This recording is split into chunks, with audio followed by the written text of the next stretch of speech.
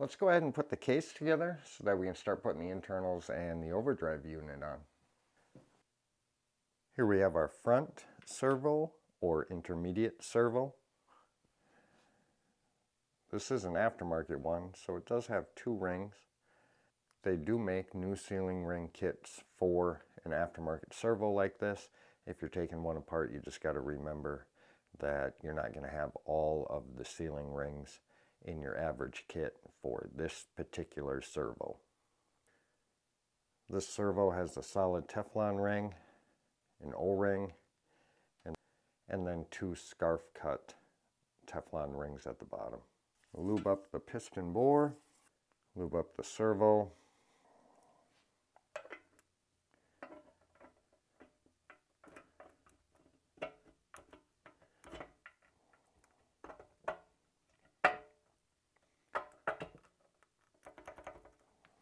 Then we have our rear servo. We do need to replace this lip seal.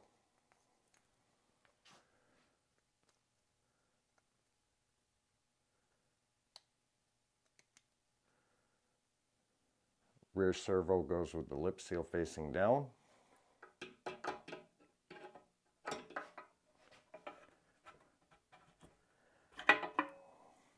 Let's install our return springs.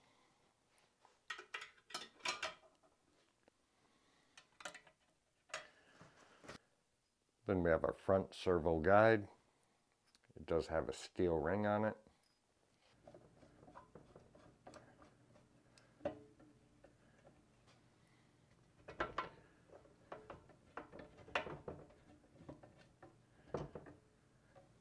In order to install the front servo guide, I do use a, a clamp and a large socket.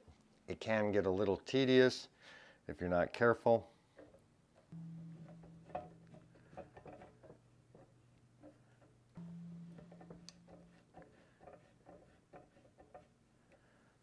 And now we can install our snap ring.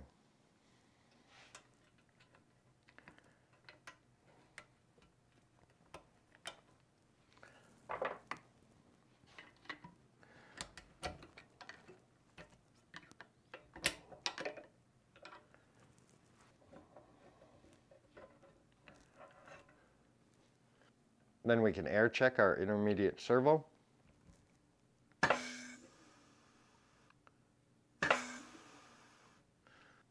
Our rear servo spring retainer. This lip is going to face down. Our snap ring.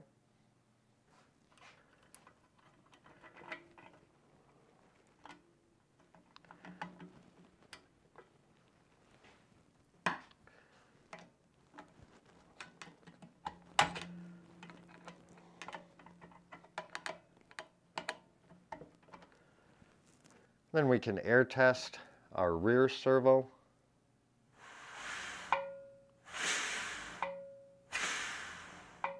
With the case flipped over, we can set our overdrive piston housing to case gasket in place. A couple of guide bolts don't hurt.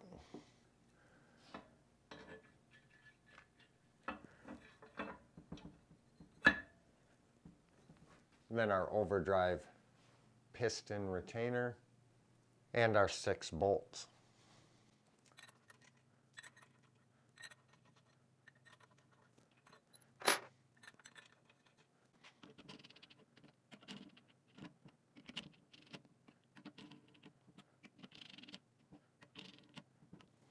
Then we can torque our bolts to 13 foot-pounds.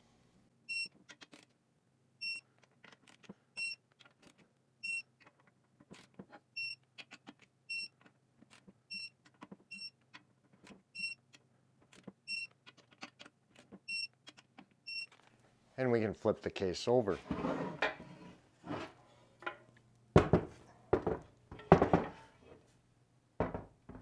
Now we can install our rear sprag.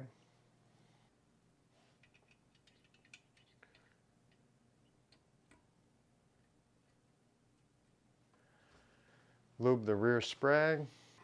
Before we install the low reverse drum, the rear band does need to be in place. These two tabs are going to face the side of the case.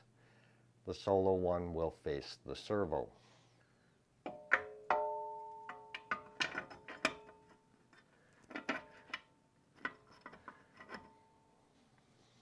If this guide pin has been removed, make sure that it is reinstalled at this point. Now we can go ahead and put the rear drum in place. Make sure that you have it lubed.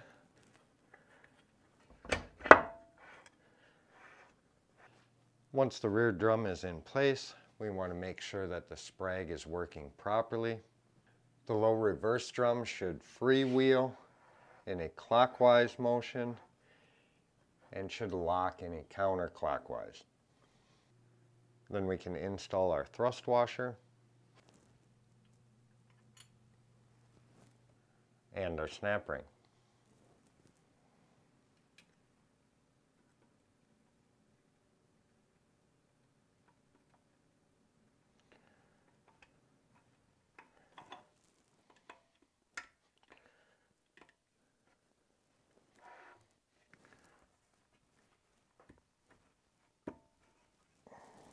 Now, at this point, there's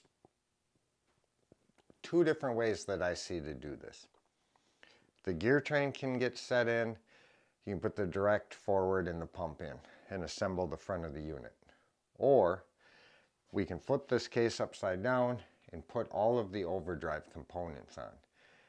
Uh, the reason that some guys don't like to put the overdrive on and then do the gear train is because you you do run the risk of having a misalignment and having a gear train problem. However, I find it easier to do it the way that I'm going to show you guys in the upcoming video.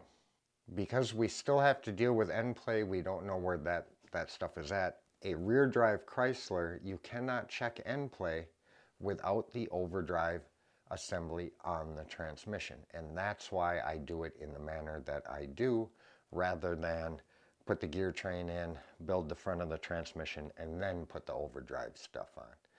But I will show you guys that as we move along. Thank you very much. Now with the case turned over, we can go ahead and put new seals on our overdrive piston.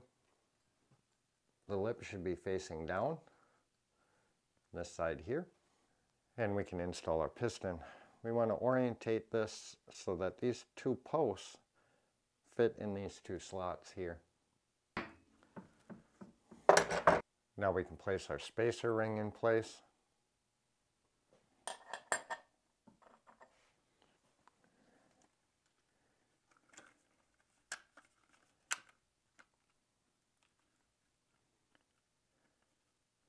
And our gasket.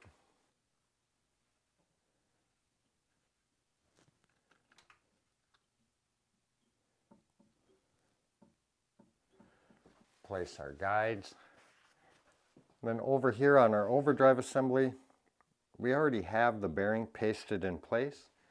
I'm simply going to remove the alignment shaft that we had in place earlier.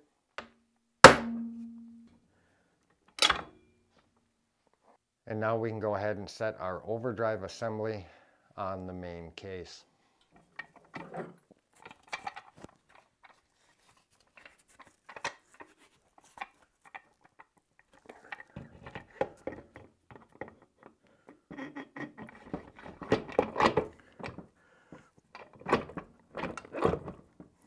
Yes, it is a little bit messy. And then we can install our bolts.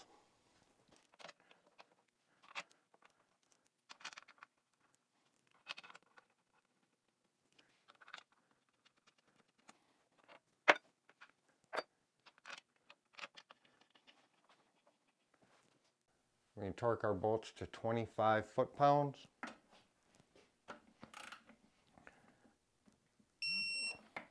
The two bolts on the bottom of the overdrive case, I generally tighten up by hand. And now we can go ahead and flip the case over and put the main case components together.